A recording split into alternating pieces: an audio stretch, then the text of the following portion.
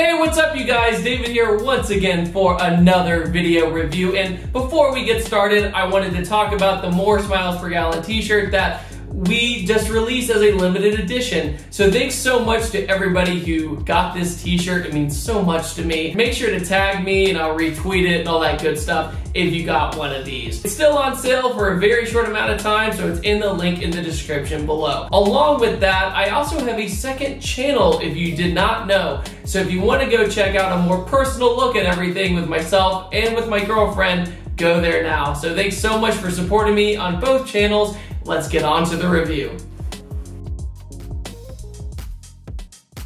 Being a gamer nowadays is almost tough with the countless choices we have.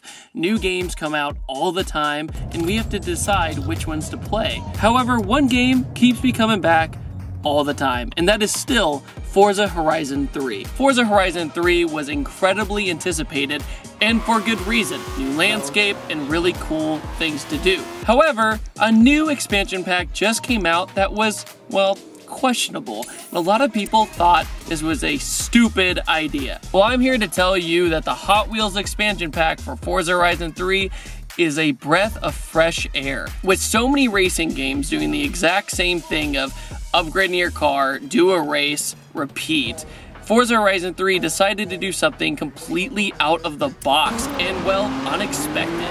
When the trailer came out, we all said, Are you serious? Is this a joke? There's no way that they're gonna do this. And there you have it. They did it. The Hot Wheels expansion pack is beautiful.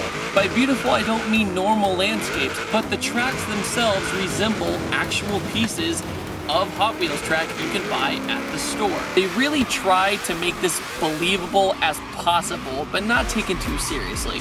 Cranes are everywhere in the area, showing that they're constantly changing the track just like a child changing the track at home. And each piece is like a real piece. The blue pieces connect and the orange pieces are where you go. I always wondered as a little kid, what does it really look like being in the car if this was real? And a few stunt drivers out there in real life have replicated this with Hot Wheels challenges. I guarantee you if you're a car person, you played with Hot Wheels as a kid. It's really cool driving inside the car and being on top of the track you might have built years ago. You have everything from jumps to loops to corkscrews, you name it. There's so much cool stuff to do. There's also new cars added to the roster. There's also the Twin Mill. The Twin Mill is probably the highlight car in the pack. And by the way, the Twin Mill is a real thing. I saw it at SEMA a few years back, and I couldn't believe that they achieved this with two engines. It sounds nasty and it's a lot of fun to drive. Also, they added the Zenvo, a car mostly forgotten by people unless they think about the time it caught on fire on Top Gear, but it's still really fun to drive in the game. It makes 1300 horsepower fully built, so you can't argue with that. But with the loops and the corkscrews and everything else, it's a very surreal environment driving the Hot Wheels expansion. And for people who didn't think there was enough drifting in Forza Horizon 3, well, this is pretty much the hardest drifting you're ever gonna do especially in the Mustang that was added in the Hot Wheels pack. The Hot Wheels Mustang is essentially a car that does rolling burnouts everywhere and is extremely hard to control, but that's what makes it fun. There is the obvious Forza Horizon 3 things to do, such as the speed cameras and speed zones and drift zones. However, it's added with such a new twist with terrain change and camber change that it really throws you off. It's actually really weird if you go off track and drive on normal land again or normal sand again. It's almost like, well, uh, well, this is odd. The terrain is completely changed and the traction is completely different on the track than it is on the street or in the sand or the forest. They even added mechanical dinosaurs to this expansion pack, which speaks to the little paleontologist of my heart. They really added a sense of scale and wonder to this. The T-Rex, for example, is giant. And when you look off into the distance and see all the different types of tracks you can drive, you can't help but be excited to go conquer the next area. The challenges are actually really fun to do, and you get medals by doing different races. Instead of just doing a fan system like normal Horizon 3, they just simply have you gain medals, and it's that simple. And you move on to the next class. One other thing that resembles a real Hot Wheels track is, well, watching out for other cars and not colliding like a crazy Hot Wheels crash. AI cars are everywhere, which is a good and a bad thing in my opinion. When you're hauling ass around a corner and getting hit with a speed booster, you don't really want anybody in front of you, but it happens often and can send you off the track a lot. Speaking of the speed boosters, they are one of my favorite things about the Hot Wheels expansion. Look at it, it's a freaking supercharger powering the entire system. You hear it burbling and backfiring as you sit next to it. Even the loading screens are beautiful and magnificent with nothing that bores you. You look at that piece of track and go, wait, have I done that one yet? I need to find that. One of my other favorite things about the Hot Wheels expansion is the half pipe sections.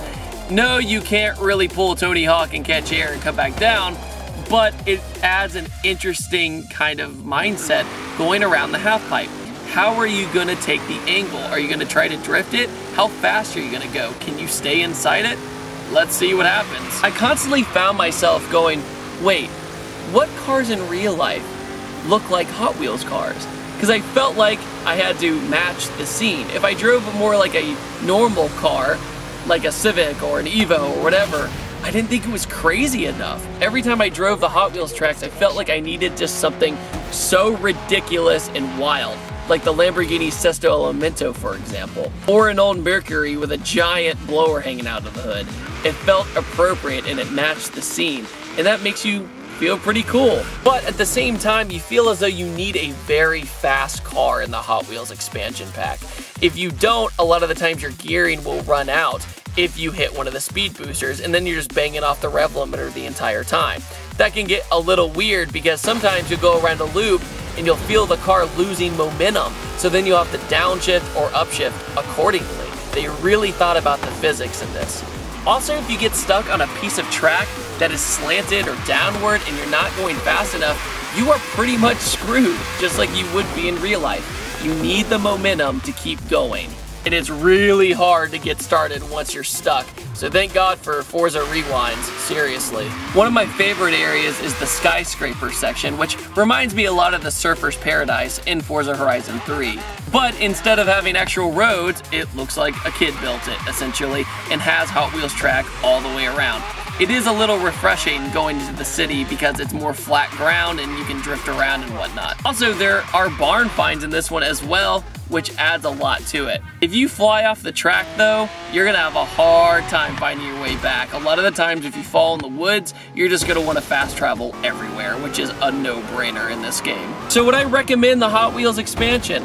Absolutely, it's really different. If you want a nice change of pace in a racing game, don't take it too seriously have some fun, have some nostalgia, and you'll have a great time. The physics are great, the cars are a lot of fun, and your imagination pretty much never ends with this one. Thank you all so much for watching this video review. Don't forget to subscribe, take it easy, and I will see you in tomorrow's video.